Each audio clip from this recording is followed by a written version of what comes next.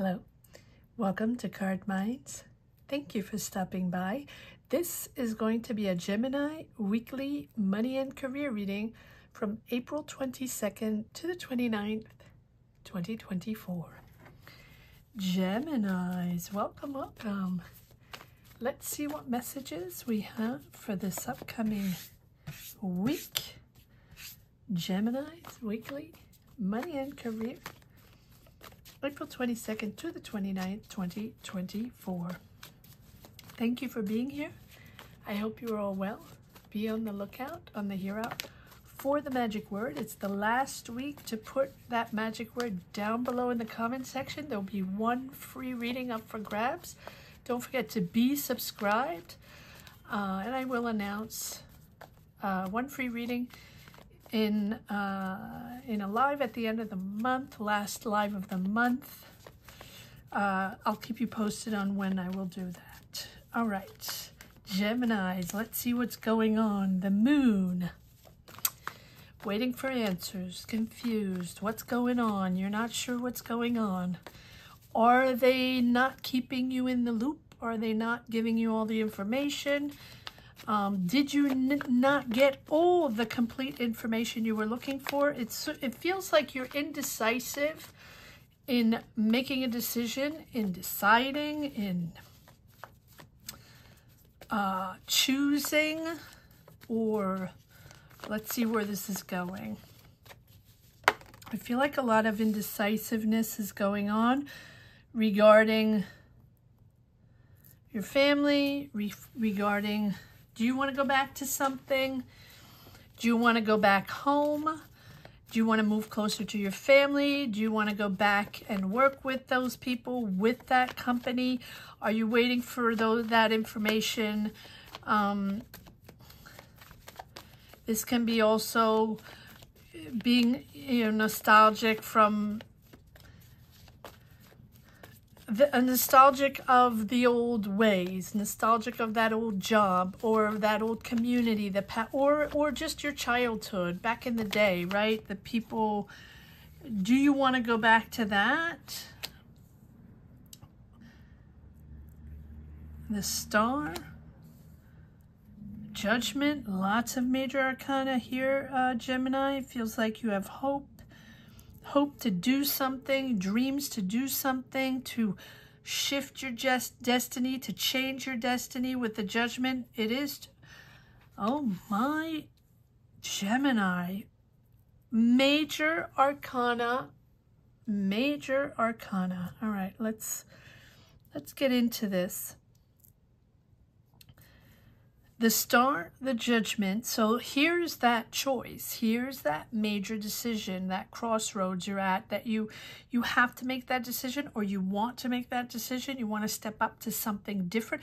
You're changing your destiny pretty much. Now, with the temperance, it's really about aligning yourself with the right vibrations, the right people, making sure you take it step by step, that you don't rush into anything, right? That you take your time. But the temperance is also um, positive messages, positive messages coming in from from entities, from people.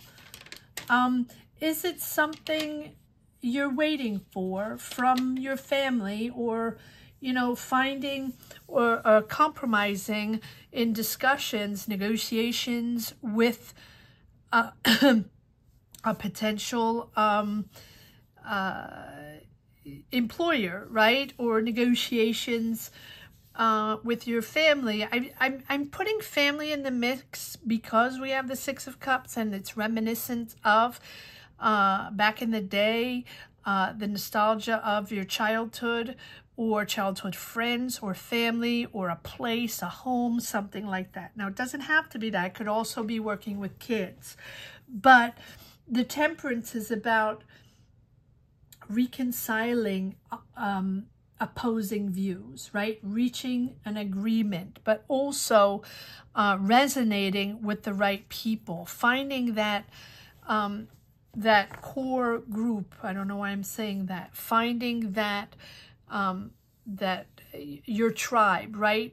Being with the right people to redirect your path and uh, working with that company you really want to work for or starting your own business on your idea, basing it all on, you know, your idea, your business, how you want to develop things.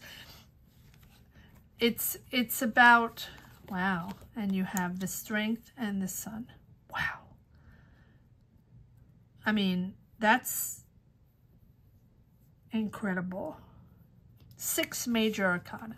Six major arcana to find happiness, to um, find that balance and click. It's almost like clicking with that right person or clicking with that right community or that right right vibration. It, it's and then taking your time to uh, navigate the this this new path to happiness with the sun.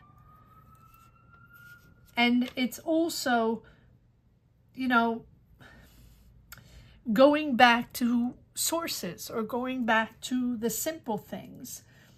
These beautiful surprises coming in, filling you with joy, almost like a child, like childlike amazement or childlike um, happiness and excitement because of what you are choosing or what you are connecting with with the judgment. So it is a shift. It's a big shift. It's a big shift, but it's a it's a rebirth. So you can be revisiting the past. I get a strong push on that. Making peace with family, making peace with a situation, with something that was not easy, finding ways to make peace with that for for to make that decision with um, a, a real outlook on the past, right? That's still there, confusing, uh, whatever it is, whether it's a family dynamic, whether it's a past job, whether it's a past business partnership, uh, family, business, whatever it is. But it feels like you're making peace with that. Finally, finally, finding that balance and being able to sort of resurrect on that. And understanding that now you can build on your fundamentals, if that makes sense.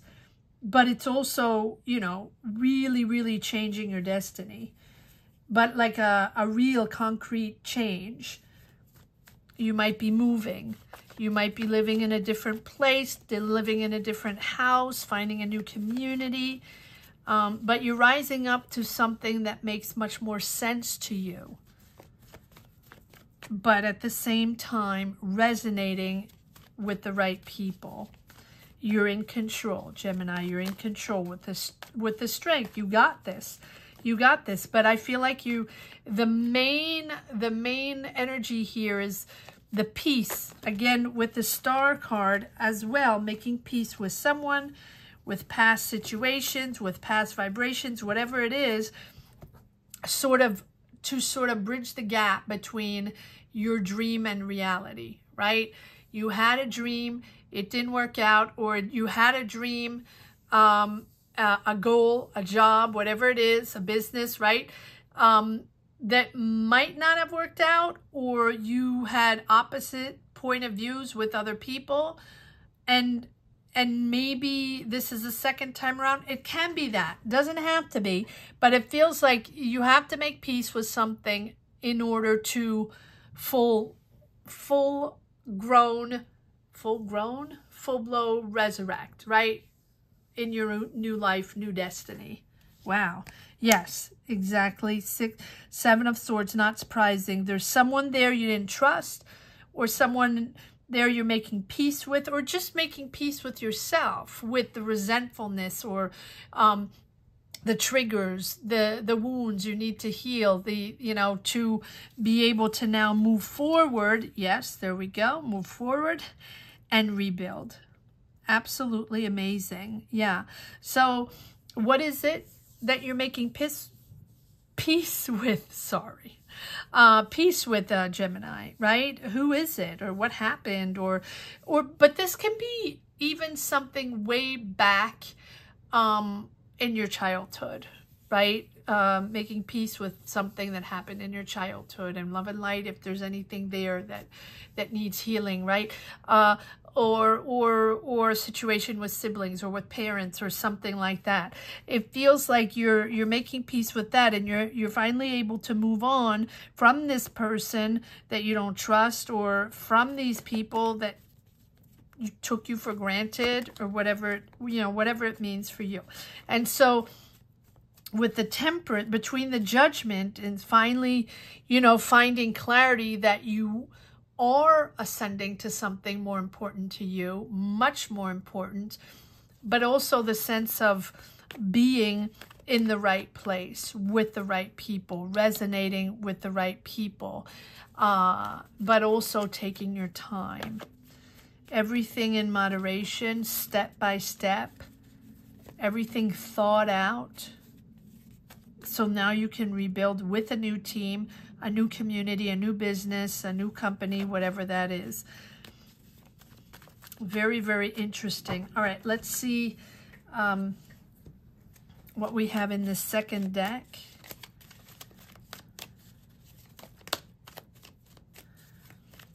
Gemini, weekly, money and career. April 22nd to the 29th, 2024. Gemini. I keep seeing the star card, right? Healing. The star card is believing, but it's also healing. Healing past wounds, healing past um, trauma, triggers, whatever it is.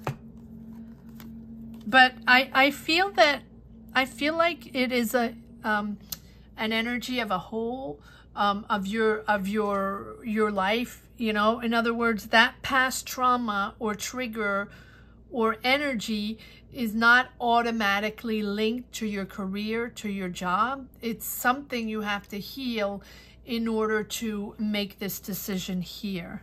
Yes, Ten of Wands, the end of that, the end of the disconnect, the end of the disconnect with that person, with that vibe, whatever it is. Comment down below. This is something that you're proud of. You're proud of understanding. You're proud of being able to move on. You're proud of the work you've done, the process you've done. And now you can lead the way. You can be, you know, confident.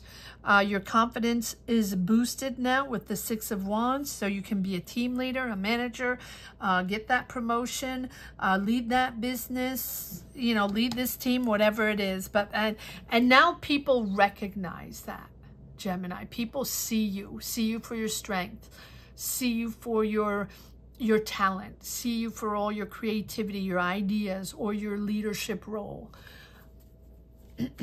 Let's see if there's one more. You're out of the stress, the pressure, also the miscommunications, the disconnect with whoever or whatever the energy is right? Um, not even wanting to deal with them, you know, bored with it already, but bored in a sense with repeating the same things over and over, having the same conversations over and over, people not listening to you, not understanding you, not hearing your words, right? This is something um, that you really have um, worked on or decide upon decided upon right to leave that behind to leave that person you don't trust or that vibe you don't trust or that those people that team whatever it is whatever it is you're leaving that behind and stepping into the sun it doesn't get better than the sun. It really doesn't get better than the sun. Happiness. But also happiness but you finally seeing the glass half full. The success, abundance. And that gives you the strength, right? You have the strength here of being in control, knowing what you want, knowing where you stand and how you're moving forward. And also tells you that, you know, that no matter what you do, now. Your positive energy is really going to follow you through and bring you that joy. Seeing the bright side and bringing warmth to people because you're in the right space. And this warm energy is going to help you succeed like radiate who you are and what you stand for. Shine your love on those you really care about. I think that you've discovered here through this challenge, through this process, who who you really are or what your purpose is or what it is you really want to be or where it is you want to be. And so now that energy, uh, it's such a beautiful energy of understanding of you know, having been through that process and being in the right place and resonating with the right people, with those synchronicities coming in, right now, that energy is going to push you to persevere to success, right? Brimming with that confidence that everything's going to work out, that you're not no longer fear driven, right? No longer ego driven, that you have what other others really want. In other words, that beautiful energy of trust. Wow. Very, very um, interesting reading, uh, Gemini. I'm going to pull one last. Uh, I'm going to pull an oracle card. I like this um, beautiful oracle deck of this uh, Secret Garden Oracle deck. Let's see what energies we have in this Oracle deck of the Secret Garden.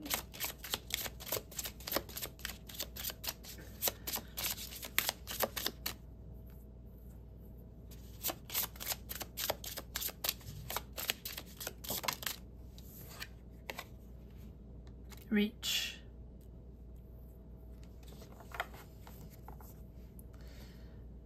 Number 12. Let's see.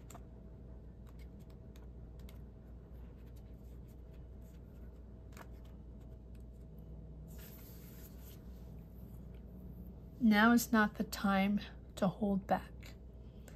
Do not let uncertainty, anxiety, fear, or even pride keep you from reaching out. Extending yourself is the key to unlocking synergy. Reach for that dream, that possibility, that relationship. It's okay to stretch beyond your comfort zone. No growth comes from comfort anyway. Discomfort often yields levels of creativity you didn't even know you possessed. Stagnancy is the enemy of the soul, so let your passion and presence be felt. Show up, offer, extend. Let yourself reach for what you want while maintaining the healthy boundaries of self worth. It's time for you to go the distance. Wow. Gemini, I hope you enjoyed this reading as much as I did. Thank you so, so much for watching. Um, I want to say that the magic word here is healing. So if you're interested in putting your name in the hat for a free reading, all you have to do is put the word healing down below in the comment section and be subscribed. Again, I will pull one name at the end of the month. This is the last week, last week for um, for the reading. I don't know if I'm gonna offer. Well, we'll see. We'll see. So anyway, put your put the magic word down below if you're interested. Uh, also, um, if you're interested in joining uh, the active memberships, uh, that'll automatically give you access to a Sunday uh, free tarot reading. It's a beautiful community. Uh, it has become now uh, members only um, live uh, free tarot readings where everybody can ask a question. So if you're interested in that, by joining and becoming a member, it gives you uh, access to that free reading. So thank you uh, so, so much for watching. Gemini, thank you to each and every one for sharing your energies, sharing your journeys. Thank you from the bottom of my heart. Gratitude to everyone connecting with these readings. Have a great week. Take care. Bye-bye.